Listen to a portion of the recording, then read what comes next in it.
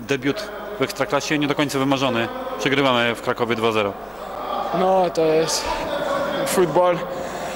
Dzisiaj przegrywaliśmy 2-0. E, Mi się zdaje, że wa- walczyliśmy e, do końca, ale nie wiem, co, co mogę powiedzieć. Mieliśmy piłkę i kontra i wiedzieliśmy, że oni będą grać w boku, bo oni mają takie zawodnice, że, że bardzo szybkie, bardzo techniczne w boku. I pierwsza bramka tak spadło, e, druga bramka kontra. I co mogę powiedzieć?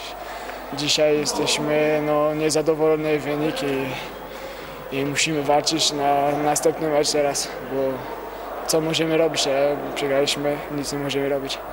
Tej walki nie można wam odmówić. Było widać ją e, z boiska, było ją widać z trybun. Widać ją na twojej wardze. Nic się nie stało poważnego?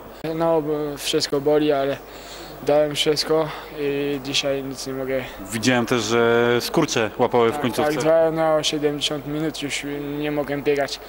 I trener powiedział, że muszę jeszcze grać, bo już nie mamy stoperzy. No i dałem wszystko. I... Początek na prawej stronie, e, druga połowa na środku obrony. Nie przeszkadzało to w skupieniu się na meczu? Nie, nie przeszkadza, nie jestem przygotowany na te naprawy i na stoperze. Dzisiaj wolałem na stoperze e, grać. No i tak, tak było, że, że Dąbrą miał kontuzję i, i musiałem na stoperze i to, to nie przeszkadza. Ja mogę grać na bramce, na, na nie, nie, nie przeszkadza nic.